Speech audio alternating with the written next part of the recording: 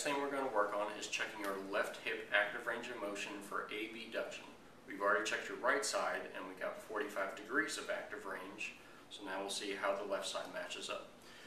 Our anatomical axis for measuring abduction is the same side ASIS. Our stationary arm is going to be aligned with the opposite side ASIS. And if you can just put a hand over that for me to hold it there.